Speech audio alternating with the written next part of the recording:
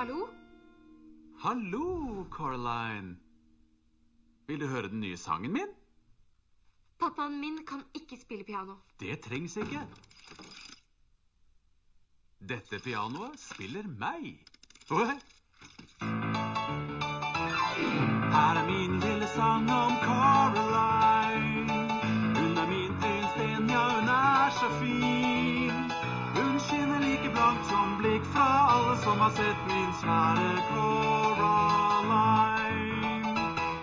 Så når du går rundt omkring og kikker, vit at andre mor og far, vi holder en knapp på Coraline. Jeg eh, Unnskyld, men hun ba meg si at maten er klar. Mm, de som er sultne, opp med hånda. Ai! Å!